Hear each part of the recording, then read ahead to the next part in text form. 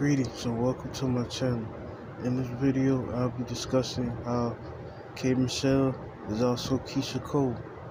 And see, they have fake beefs on this world stage to try to throw you off.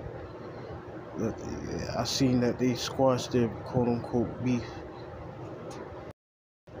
But they're both the same person. That's the crazy part about it. As you can see, the side by side pictures on Google is all, is all I need to know. As they have the side by side pictures, it lets you know that character is also that same character.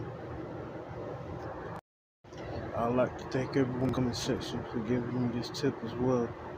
I believe Aaron was the one that gave me this tip that K Michelle is also Keyshia Cole. This world is nothing but a stage, layers upon layers of deception. And we're all being deceived by these celebrities, playing multiple roles on this world stage. And as I stated, side by side pictures on Google, they don't lie. It makes it much easier to find. It's obvious, it makes it obvious. And as I stated before, nothing is new under the sun. What you see now, always been. These celebrities love wearing masks. They love changing their form. It's like form of shapeshifting, if you ask me. Just as they do it in the movies, they do it in real life. If you ever see these two in the same room, it means that they have a stunt double. It's like they do in the movies and TV shows. Just like the movie X-Men. I'm going to keep referencing X-Men because it's the best example. When you have Mystique playing, transforming into either male or female as they have both male and female body parts. They all celebrities are inverted. It's crazy that they can play both male and female roles on this world stage. I love quoting William Shakespeare in that sense when he said this world is a stage because it's the truth. It is a stage. Many other stages as well. All celebrities are fallen angels.